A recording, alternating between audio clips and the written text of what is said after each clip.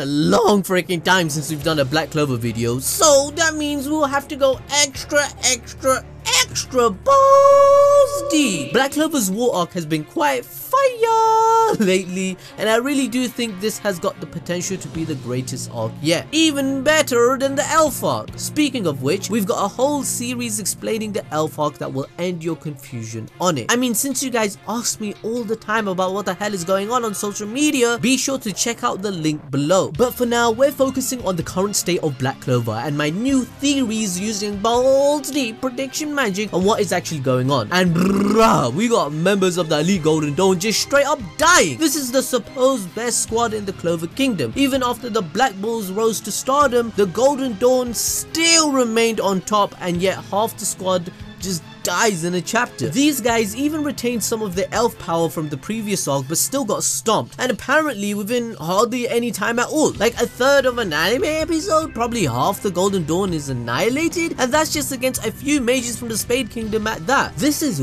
really interesting because it sets up the Spade Kingdom and more specifically the Dark Triad. Zeno was the only one of the Triads at the Golden Dawn headquarters and he defeats William without even taking his hands out of his pockets. This is the same William, who is naturally gifted with arcane magic, who retains some of his elf power with a 6 month time skip on top of that, training his ass off, and the dude literally didn't take his hands out of his pocket, as I said, he plans to take him away to steal his arcane magic for the Spade Kingdom, as this was insinuated to us in chapter 235 where he declares that he will take it. Holy look at all this damage!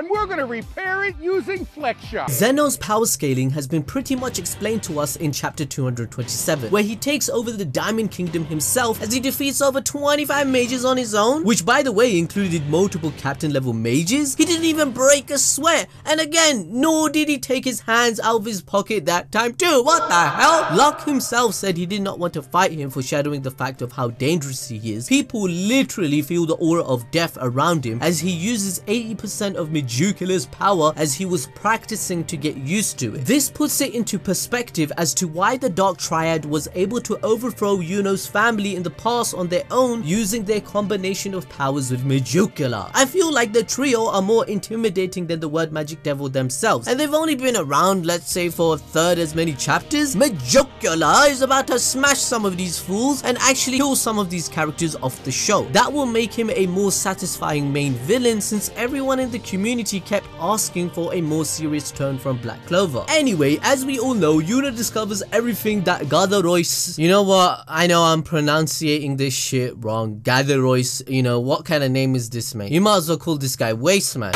Anyway, Wasteman right here, he did this to his squad mates, right? And he is instantly ready to throw hands. As I said before, Tabata will use this arc to develop Yuno's character because he realized that most people just don't care much for Yuno. They think he's boring and not all that deep. Some people think he's only there to motivate Asta and make us unsure about, hmm, who will become Wizard King? A perfectly justifiable opinion, right? Wrong. Tabata probably did this on purpose because for a series to go on as long as One Piece, as he states he possibly could and wants to, Yuno's character arc came across seamless as he interconnected his connection to Spade Kingdom with Asta and Noel. He's using the trio to represent the opposite ideologies of the Dark Triad. Some speculate that the term Dark Triad was inspired from the psychological term as each of the characters we see represents each trait. Research on the term Dark Triad traits means that people scoring high on these traits are more likely to commit crimes, causing social distress and creating severe problems for an organization, especially if they are in leadership positions. Hmm, I guess that's pretty close, right? All three Dark Triad traits includes narcissism, which is categorized by pride, egotism, and a lack of empathy, which is Vanica, since she displayed these traits wanting to go all out, complaining that she wasn't allowed to, but Zeno could, and she wanted to use her powers, and you know, she's a thought.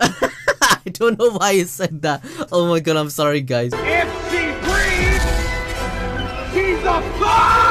The second trait is Machiavellianism, which is categorized by manipulation and exploitation of others, an absence of morality, unemotional callousness, and a higher level of self-interest, which is Dante. As Zeno asked him why did they wait 6 months to destroy everyone, and he said, why the hell not? It's because we can, it's because we are all powerful. The third trait is psychopathy, which is categorized by continuous antisocial behavior, impulsivity, selfishness, unemotional, and remorselessness, which I would say is Zeno, as again, he doesn't even take his hands out of his pockets, god damn it, whilst killing all kinds of mans left, right, center like nothing, blood spilling everywhere, everyone screaming like, oh god, no, the boat is in mine, oh man, I'm dying, screaming going on, and death is everywhere, and the guy just doesn't give a shit. He's also antisocial with the other Dark Triad members when he doesn't respond properly. Now, on the opposite spectrum of all of this is the Light Triad, who are Asta, Yuno, and Noel. This is represented with the humanism, which is defined as believing in the inherent dignity and worth of other humans. We have seen this with all three characters. Asta is a no-brainer, but Yuno recently shared this thought. Noel too, when she was taking care of her family and a poor girl at a festival. The second trait is Cantanianism, meaning to treat people as ends unto themselves, not just as unwitting pawns in your personal game of chess. Again, very important if Asta and Yuno want to become Wizard King, since the saying goes, absolute power corrupts absolutely. There cannot be people that use their position for the wrong means. Noelle as a royal takes heed to this too for her character development. Finally, the third trait being faith in humanity, which is to believe that other humans are fundamentally good and not out to get you. Again, no brainer fam, but I believe this balls deep analysis makes a lot of sense and I hope with that you can smash that like button for me guys and the notification bell to join the Black Clover community on Anime Balls Deep. Let's try and get mm,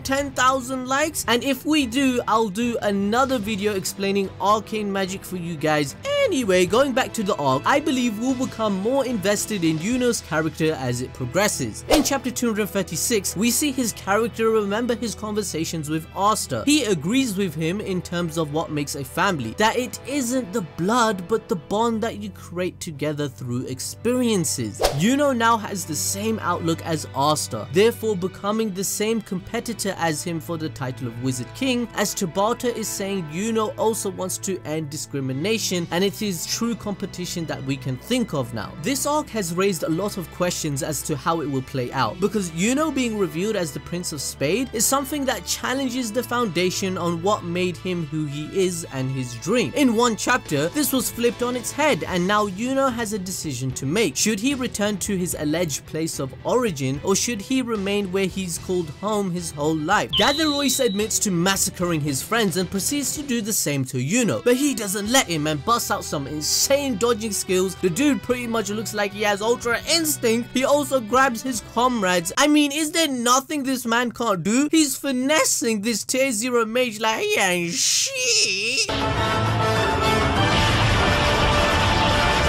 Yuno asks Gatherois why he attacked the base, but of course his response is who cares? Cause why would a blockheaded brute like him give a crap about why he's attacking an enemy base? Of course! But he does mention that the Dark Triad needs arcane stage mages, and this could be for any number of reasons. One of them being because they are compatible with the devil they are in possession of, right? Asta and Secre are arcane mages because they have connections with the other world, the one the word magic devil came from. It's possible that they have untapped power that the Spade Nation is aware of. Power they themselves don't even know about. Or do they? We haven't seen much of Asta and we've seen even less of Secre. So for all we know, they could be at least somewhat aware of their hidden potential. Even if they don't know how to tap into it just yet, the Heart Queen has insinuated that they have something special. Now this is the power of Weg that Julius Novachrono mentioned earlier in the chapters to Asta. And I presume this plot device is going to be explored really soon as it will be the answer on how they will get a power boost. This could be something along the lines of full black mode from Asta or him finally unlocking two wings that he foreshadowed against the devil. We also get a reference to the last Spade King, the ones that Triad killed 15 to 16 years ago. According to Gaderois, he was a peace-loving idiot and that's why they butchered him. This may be even more reason for Yuno to embrace his bloodline and act like the prince as he was a noble from a family that actually lived lives up to his ideals. We then see Yuno activate his most powerful spell, the Spirit of Zephyr. He whips out this mighty wind blade that all the women's like and slices clean through Getarois. And I think we need to realize Yuno just straight up killed someone in cold blood.